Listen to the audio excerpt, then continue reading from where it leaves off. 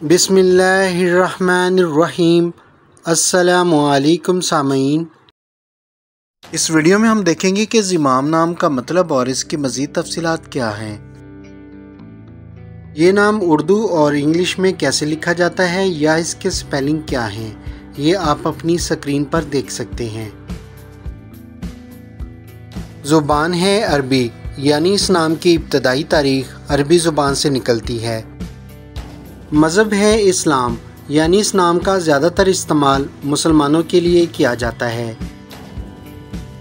Jeans है लड़का, यानी इस नाम का ज़्यादातर इस्तेमाल लड़कों के लिए किया जाता है। ज़िमाम के मुख्तर इंग्लिश मीनिंग है एफर्ट, डिग्निटी, उर्दू मायनी है वकार और कोशिश। ज़िमाम नाम का मुमकिन तौर पर सबसे ज़्यादा इस्तेमाल जिन तीन ममालिक में किया जाता है, उनमें सरफरिस्त है मालदीव्स नंबर दो पर है बांग्लादेश और नंबर तीन पर है सऊदी अरेबिया। और इस नाम के अफराद के लिए मुवाफिक समझे जाने वाले दिनों में शामिल हैं मंगल और जुमेरात। नंबर चार को इस नाम के अफराद के लिए मुनासब समझे जाने वाले नंबरों में शुमार किया जाता है। और इस नाम के अफराद के लिए मुवाफिक समझे जाने वाली दातों में शामिल है तांबा और लोहा।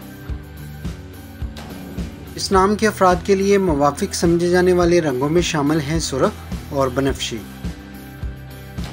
जबकि रूबी नामी पत्थर को इस नाम के अफराद के लिए मुनासब समझे जाने वाले पत्थरों में शुमार किया जाता है।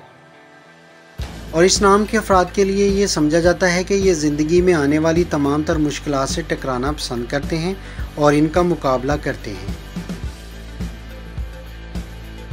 उम्मीद करते हैं कि आपको ये वीडियो पसंद आई होगी। आपसे दरख्वास्त है कि अपने बच्चों के लिए कोई भी नाम फाइनल करने से पहले अपनी इमाम मस्जिद या किसी आलम दीन से मशवरा ज़रूर करें। और इसके साथ साथ आपसे दरख्वास्त करेंगे कि इस वीडियो को लाइक करें और हमारे चैनल को सब्सक्राइब कर लें। मिलते हैं अगली वीडियो में। तब तक के लिए इजाज़त दीजिए। शुक्रिया। अल्लाह हाफिज़।